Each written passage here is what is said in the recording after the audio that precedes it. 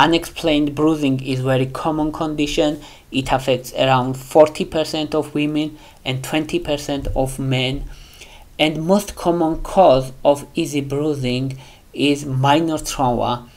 It is responsible on 50% of cases, especially in women and in older adults. In women, skin is thin and trauma can easily cause bleeding and eventually bruising. Uh, most common locations in case of minor traumas are upper arms, thighs, buttocks, uh, usually limbs.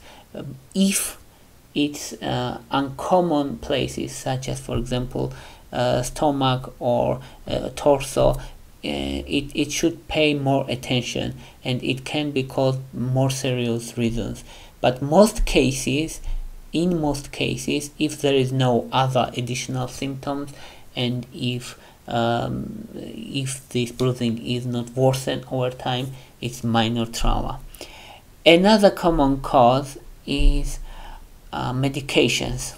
Medications like aspirin for example other non-steroidal anti-inflammatory drugs every non-steroidals increase risk of uh, bruising also supplements for example fish oil ginkgo biloba they can cause increase uh, bruising rate yeah, antiplatelets and anticoagulants also. So um, in case of medication if person takes medication he or she should be very careful because they can increase risk of bruising. And such cases account 25% of bruising so there is 75% probability that if person has unexplained bruising, it is caused by trauma or medication. Now let's touch more serious condition. It's leukemia. People always worrying when they have bruising if it's leukemia and let's, let's discuss. First, we should say that for leukemia, uh, easy bruising is not dominant symptom. So other symptoms more frequently and more commonly um, occur first, like fatigue, fever, frequent in infections. It, they are um, represented on 80 to 90 percent of cases. So more common is fever, fatigue, frequent infection. This is more common symptoms unexplained weight loss is more common.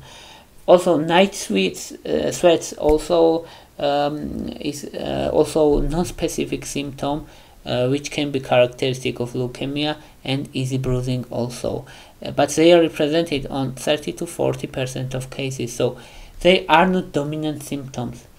Another important thing, if you see like this, usually it's not leukemia if you see like this it's not usual leukemia. But if you see like this it can be leukemia. Now let's explain why. Uh, we have different types of bruising. Petechia this one smallest very small red spots. They are flat red spots. And usually caused by capillary bleeding. And most common cause of petechia is idiopathic thrombocytopenic purpura uh, ITP another another uh, is purpura itself. Uh, idiopathic uh, thrombocytopenic purpura also can cause purpura and uh, but it more common cause petechias. Uh, and what's purpura? Purpura is bigger it's more than 2 millimeters. If petechia is less than 2 millimeters uh, purpura is more than 2 millimeters but it's also small and it's slightly uh, slightly raised. It can be caused by infections vitamin C deficiency and leukemia and uh, idiopathic thrombocytopenic purpura itself also.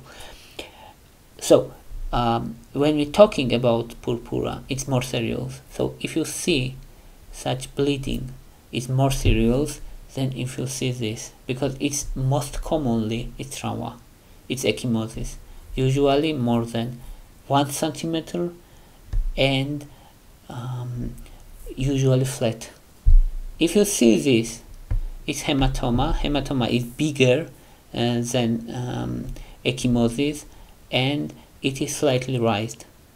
Uh, it's bleeding more bigger uh, veins uh, from bigger vein or from bigger artery. Um, and uh, it is blood pool results from bleeding and it's raised lump. So it's hematoma. That's the important distinction, distinctions which, which we should know. Also there are several uh, disorders bleeding disorders like um, um, hemophilia for example or von Willebrand disease but they are usually childhood disease. They uh, they affect people from uh, since childhood so they already know about this disorder.